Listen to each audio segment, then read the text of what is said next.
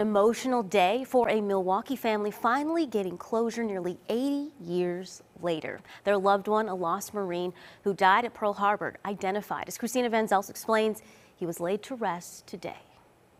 After nearly 80 years, this soldier is welcomed home. It's huge. Uh, he's coming home. The remains of Marine Elmer Drefahl of Milwaukee, who died at Pearl Harbor, identified. He probably left Milwaukee in 1940 and today he's come home. The 22 year old served as a Marine corporal but never came home. He was stationed on the USS Oklahoma when the ship was attacked by the Japanese. After 10 or 15 minutes, at least eight torpedoes hit the ship, and the ship capsized. Through DNA testing, almost 80 years later, the family would finally have closure. Saturday, a service was held for the soldier who can finally rest at peace in the place he calls home. Corporal Drefahl, my Uncle Elmer, is a hero, a genuine American hero. Drefahl, now buried next to his parents at Pilgrim's Rest Cemetery.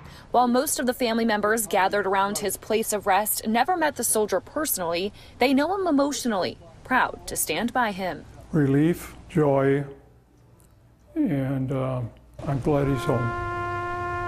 Reporting in Milwaukee, Christina Van Zelst, Fox 6 News.